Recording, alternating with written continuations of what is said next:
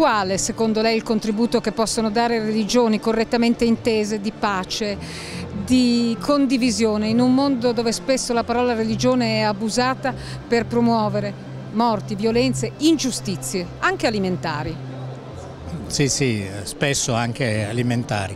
Le religioni credo che possano dare un grandissimo contributo, ne è un esempio oggi, ritrovarsi qui, sì, a mettere una semplice firma, essere tutti emozionati, ma eh, bisogna andare un passo oltre, cioè, la firma vuol dire impegnarsi.